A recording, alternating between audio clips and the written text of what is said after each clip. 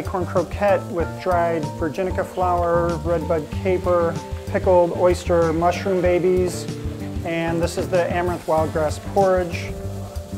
Okay, I need to get work on my tortillas.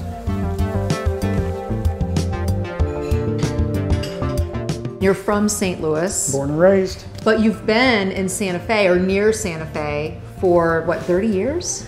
So I went off to undergrad back in 86 and I went to undergrad in New Orleans and then went off and got my doctorate and, and have had two careers after that before I started cooking.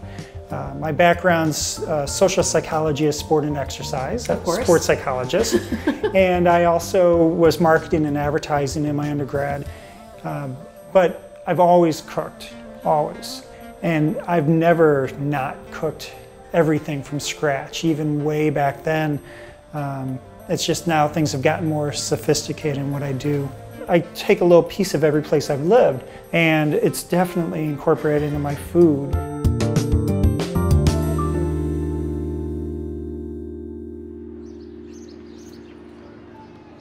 The menu is a it's a tasting menu, and for me that means not just a bunch of interesting plates, but everything has a progression. Mm-hmm. You know, as we go through this, we're ultimately building up like a musical piece to the point that we get to the entree, which is going to be a sous vide roasted duck. Okay.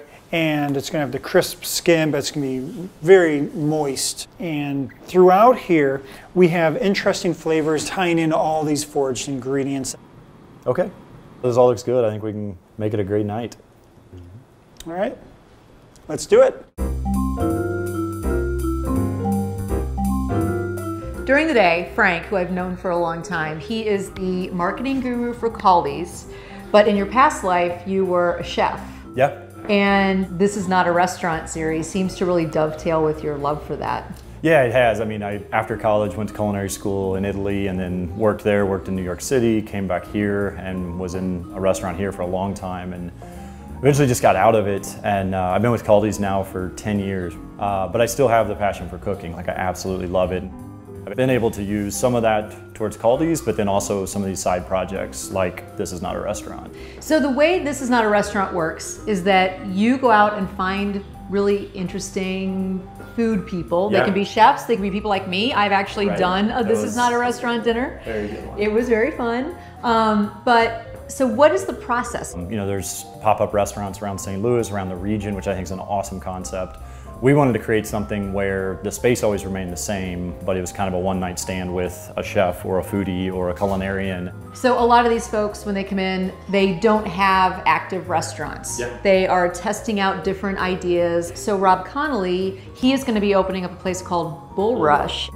And this is his second or third dinner here? He, this would be his second. His second. Yeah, he's from St. Louis, has been away, I think, for 30 years. Uh, has been in the Southwest for a number of years, had a place there, which I hear was just incredible. Uh, but he's back. But I don't know how many people know Rob's story. So for you know an event like tonight, there's going to be 32 fresh faces that not only get to eat Rob's food, but get to know Rob. As much as it is about the food, it's about the connection with the chef.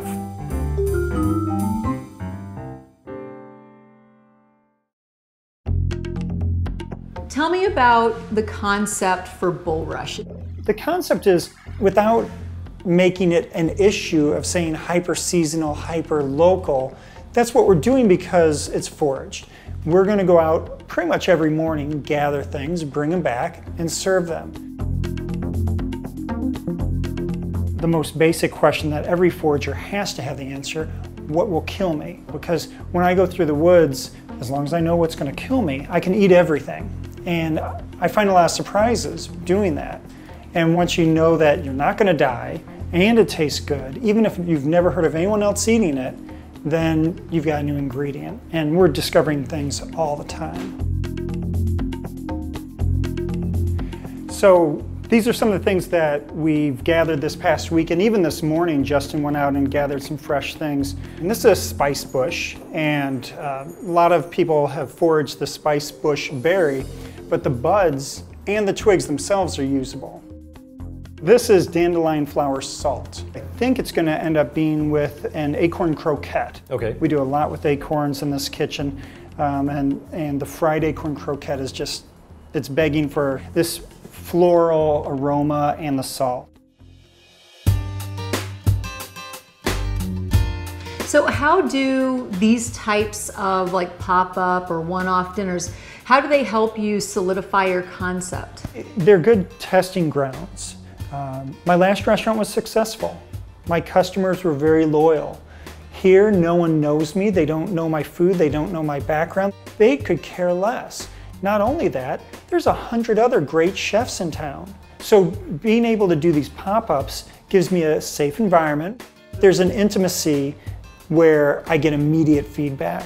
To me, I need to know if people enjoyed the food, like every meal, not just every meal, every plate, not just every plate, every bite. And these pop-ups, it gives me that snapshot version of the same thing. Mm -hmm. Here, we're gonna get through the night, people are gonna love it. And um, I'm gonna spend a lot of time with the guests talking to them about the foraging concept and why I do it.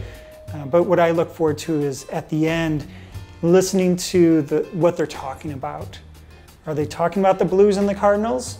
I hope so, but I really hope they're talking about the acorn croquette or I didn't know you could eat chickweed. That's what I really want to hear. I've never had a chance to really taste Missouri in the mm. way that you're going to be able to really bring that to the plate. And that's what I'm excited about is the surprises. And I'm sure that everybody sitting here tonight is gonna have their minds and their hearts open to this kind of journey that you're gonna take them on. We're doing four by eight, so eight rows. Okay. Everything should be pre-counted, but we're double checking.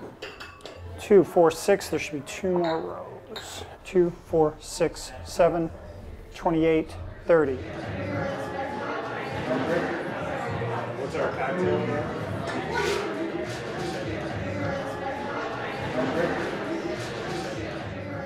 All right, guys, if I can have your attention, please, we're gonna go ahead and get started. My name's Frank. I wanted to welcome you guys to This Is Not a Restaurant. Uh, this thing's been going on now for well over a year. I think we've run through close to 20 chefs uh, who've come in and done their thing for a night or two and then disappeared. So uh, we're excited you guys are here. You're in for a really special treat. Uh, but I also wanted to introduce Chef Rob Connoley. Uh, Chef Rob is a native of St. Louis, has been gone for about 30 years, and we're fortunate enough to have him back.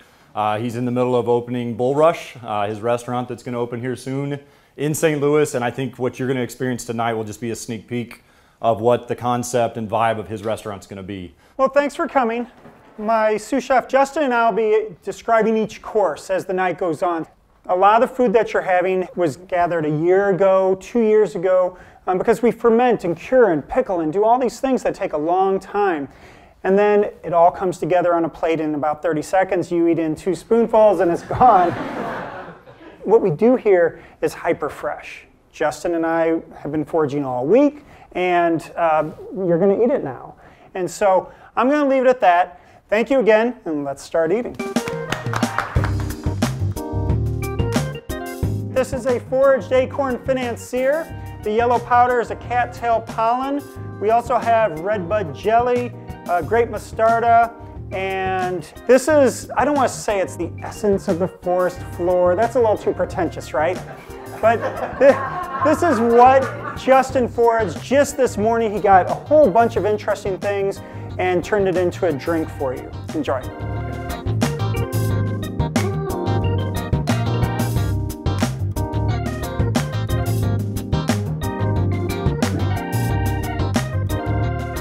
Have an acorn croquette in front of you. Underneath that is a wild grass and amaranth seed porridge. Um, there are pickled redbud capers, pickled oyster mushrooms from last fall, and then uh, the Virginia bluebell flowers that Rob mentioned earlier, they're on there two ways. There's fresh and dehydrated also. And a trout lily leaf on there too. Thank you.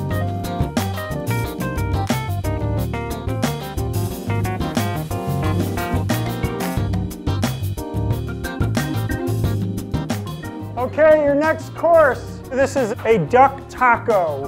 Black beans, uh, foraged sumac dukkha. We've got black trumpet fermented honey drizzled on the top, uh, field garlic powder, chickweed, uh, and the tortilla itself, which is underneath, is made out of acorn. Enjoy.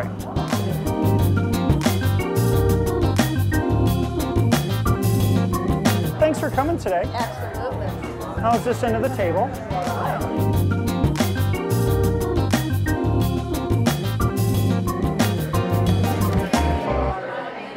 Okay.